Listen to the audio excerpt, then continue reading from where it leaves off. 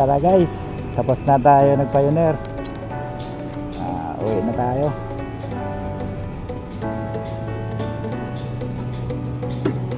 Sama tayo uli. Oh, yeah.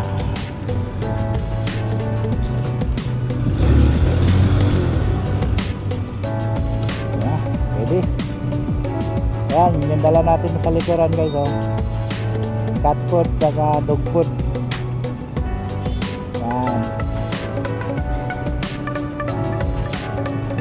Ah tara guys tapos na. Let's go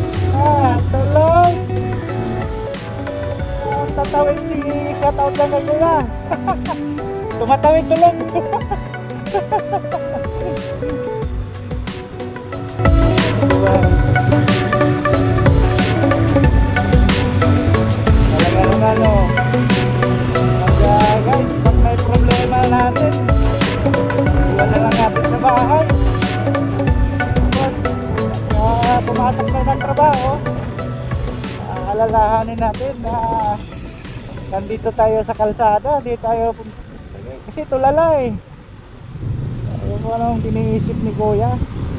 Kaya nasa gitna ng kalsada Tulalang tulala.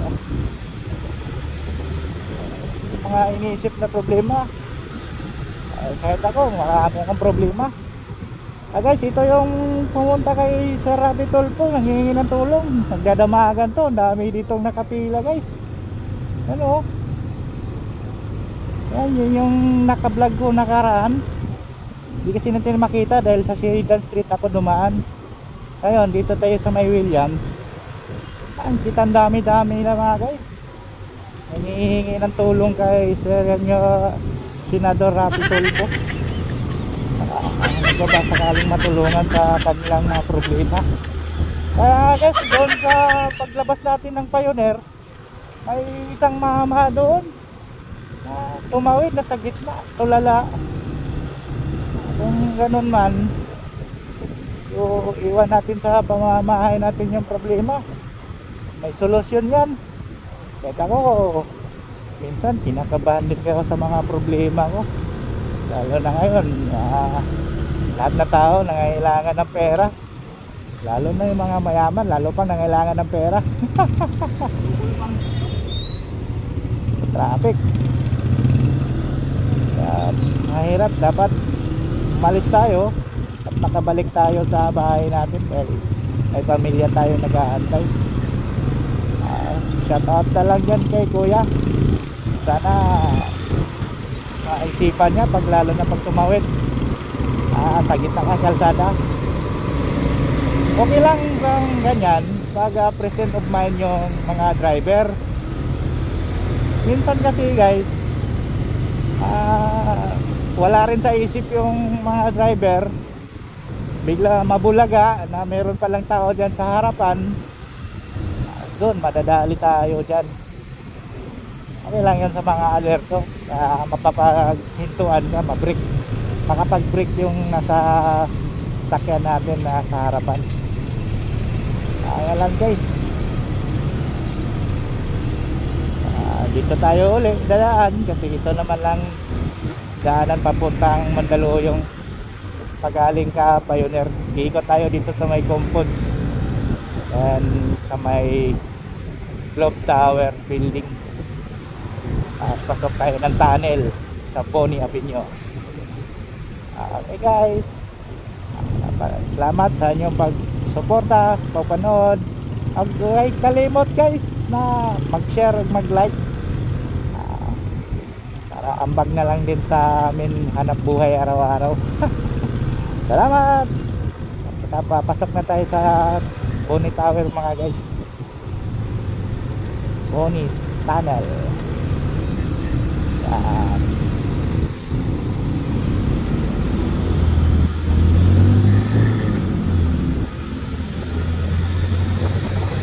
Sinding lang.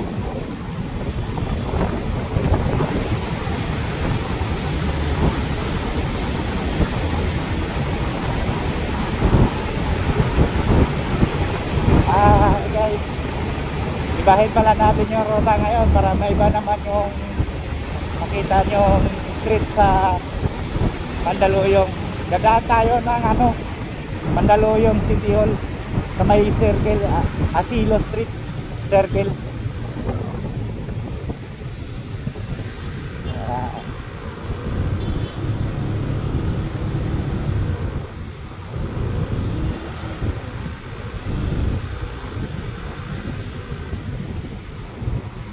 Ah, ang tagos natin sa may Martinez. Ah, iikot lang tayo.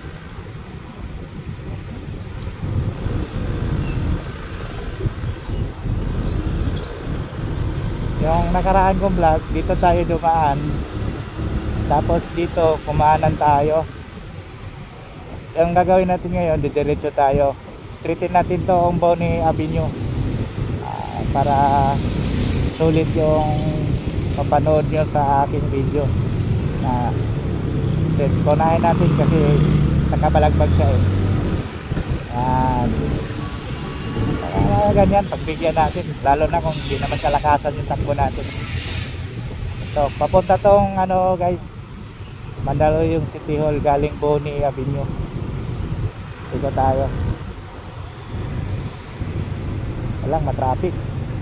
Na maraming mga jeep na bumabiyahe. Ah, Mang Mandaluyong kasi guys, hindi sumasali sa transport strike. Ah, jeepney modernization ang ilahang ano, hindi sila sumasali. Ah, may kaya dito marami. Ayan, na-traffic tayo. Ah, nandito tayo sa harapan ng PLDT building. Sa ito yung nakita nyo guys, dito sa may kaliwa, ah, blue, green, orange na building. Yan yung RTU. Ah, yan. Maganda dito guys, university yan. Rizal Technology University of Mandaluyong RTU.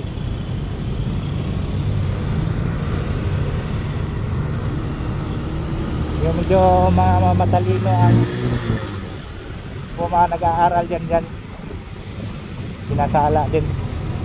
Ang alam ko 80 above average. Yan ang tinatanggap nila dyan may scholar, may full scholar may half scholar pa yata guys. Ah, sagot ng Mandaluyong government. Tingin tayo. Ganito ka traffic guys. Pag pumunta tayo ng City Hall ng Mandaluyong pag galing tayo Bonnie Avenue. Na oras na ba oras natin 10.20 ng umaga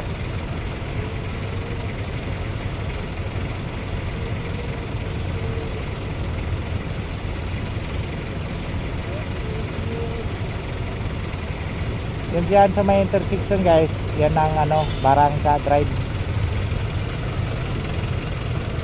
Pag kumaliwa ka, Barangka Drive yan.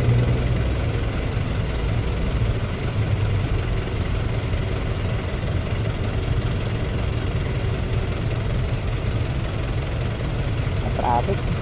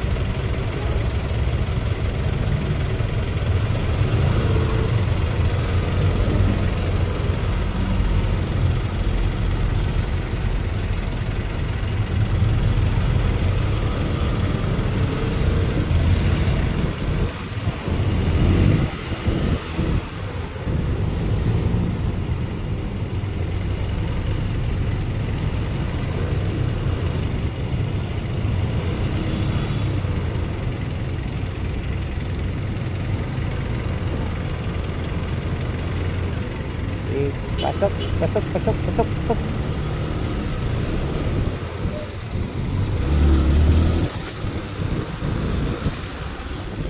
Ah, kadalasan yung cause ng traffic guys, yung minsan yung mga jeepney natin uh, nag-aabal ng pasahero o nagsasakay. Uh, dyan, natatagalan tayo talaga. Uh, tingnan mo guys, oh, luwag napaparahalan tayo doon sa may jeepney ay namimiga pa ng pasahero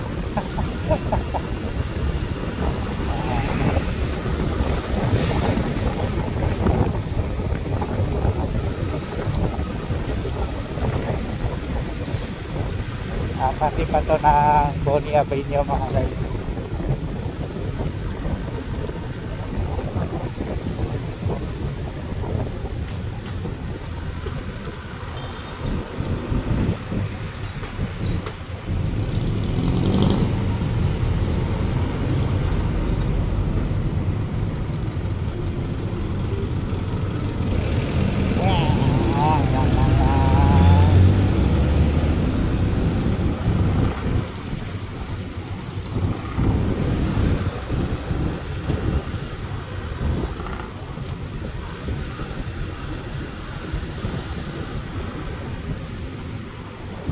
Ah, dito na tayo sa may circle.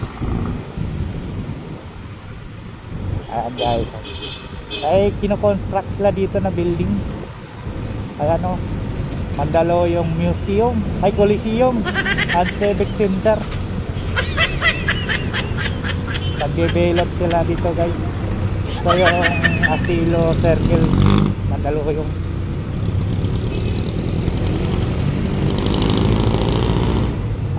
Papasok ka? Hindi.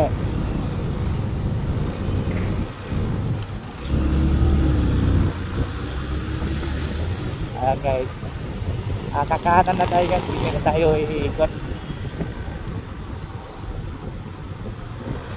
Ah, ito naman yung Martinez Street.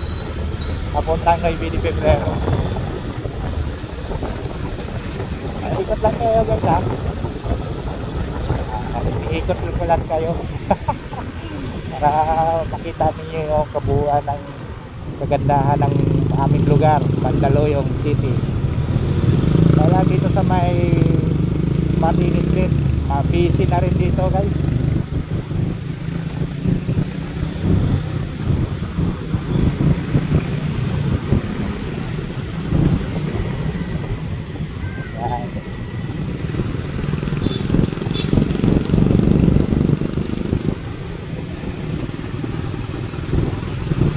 Yung nagseminar, hindi nagseminar.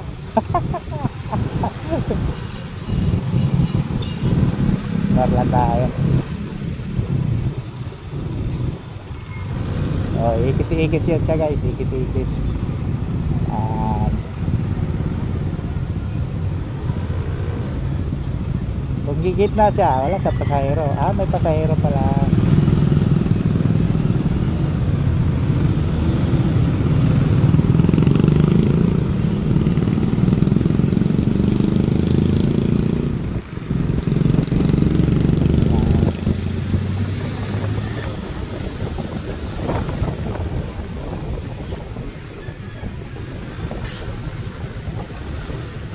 Ayun ang bagong hospital ng Mandaluyong guys.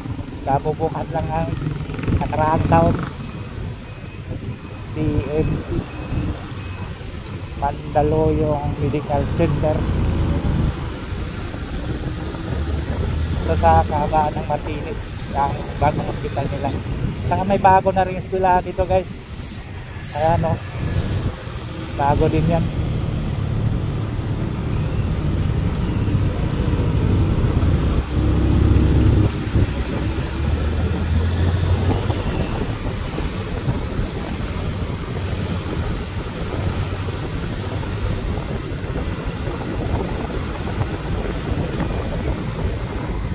Andito yung Barangay Addition Hills nakalagay dito sa may kanan mga guys.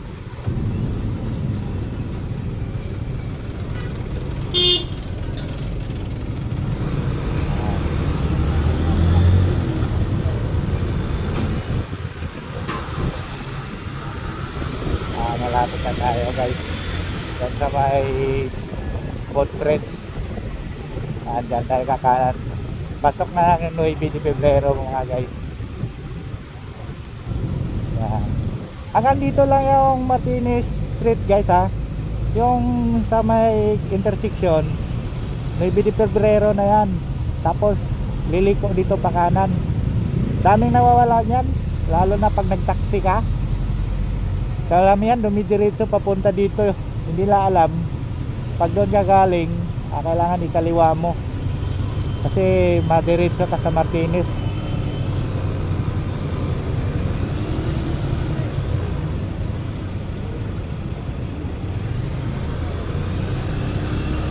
ayan guys oh. Yan. Dito yan maybe paliko dito. Yan maybe di Pebrero ano yan guys? Huli? Pero hindi kulong ah, binalik yung lisensya ah, kasi ah oo wala na pala tayo pag huli. Hindi na pala kinukuha ngayon yung lisensya guys. Ah, ticket na lang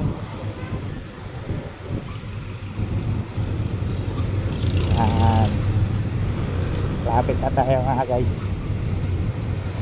Back to base.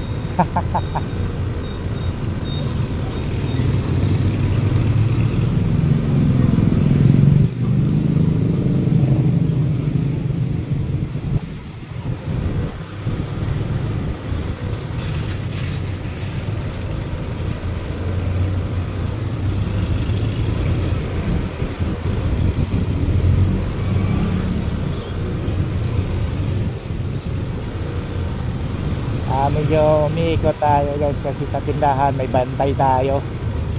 Ah, hindi natin kaunting mag mamadali. ah, diretso tayo papasok guys.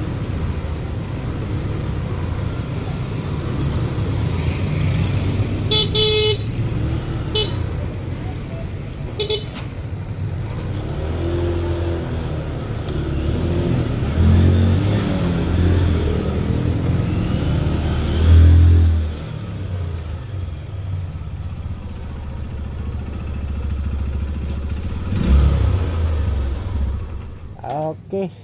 God. Nandito na tayo guys sa loob.